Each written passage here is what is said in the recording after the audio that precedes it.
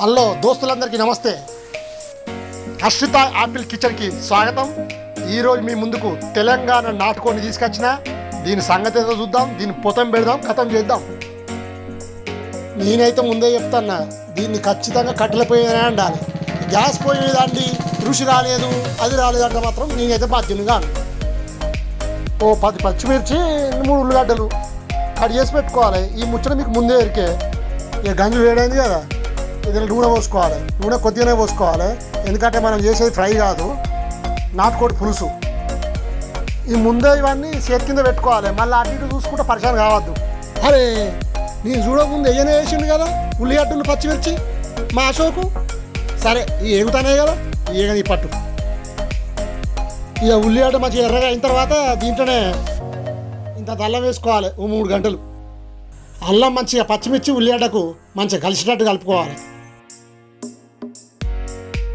మనం జనగా నుంచి నాటుకోడి తెచ్చి కాల్చి పసుపు పెట్టి ముక్కలు కొట్టించి రెడీ పెట్టుకున్నాం కదా దాన్ని వేసుకోవాలి దీంట్లో ఇక. ఓసారి మంచిగా కలుపుకొని దానికి మూత పెట్టి ఇక దానికి ముసమరణి అది కొద్దిసేపటి దాకా. మంచిగా మంట పెట్టుకోవాలి. మనం అట్లనే చూసుకుంటుంటే అది మాడి కదా. మాడి పీకుతుంటే జర ఖరాబ్ అయి పాడబడుతుంది. ఇక మనం ఇంత పసుపు వేసుకోవాలి. ఒకసారి కలుపుకొని జర జర్ర ఆగిన తర్వాత ఉప్పు కూడా వేసుకోవాలి.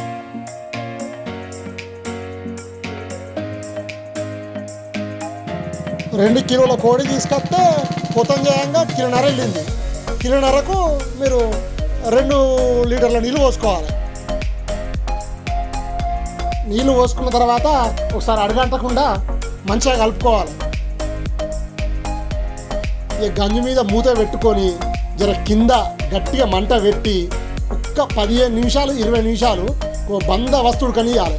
మొత్తం చికెన్లో మొత్తం నీళ్ళకు రావాలి. ఉడికే అంతసేపు ఏం చేస్తారు మీరు? జర కొత్తిమీరాకు కొలిసి దగ్గర పెట్టుకోండి. అరే ఈ పొగలచ్చుకుంటా భలే ఉడుకుతుంది.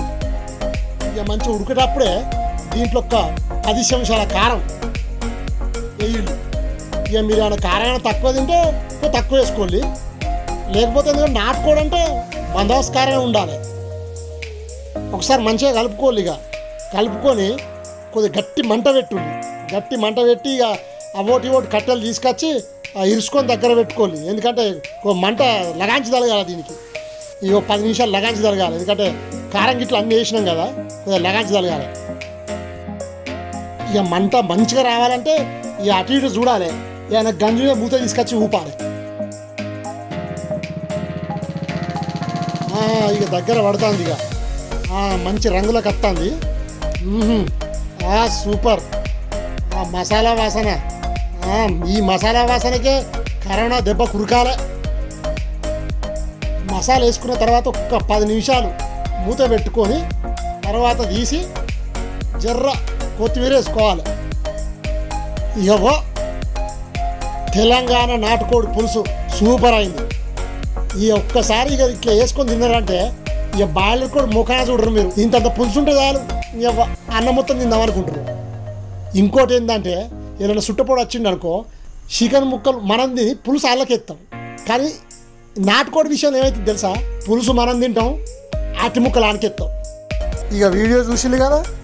ఇక జర సబ్స్క్రైబ్ చేయండి. ఇక జర సబ్స్క్రైబ్ చేసి జర మమ్మల్ని ఎంకరేజ్ చేయండి. సబ్స్క్రైబ్ చేసిన వాళ్ళు ఉన్నారు కదా వాళ్ళు జర కామెంట్ చేయండి షేర్ చేయండి లైక్ చేయండి. రైట్ మళ్ళా కలుద్దాం మంచి వీడియోతోటి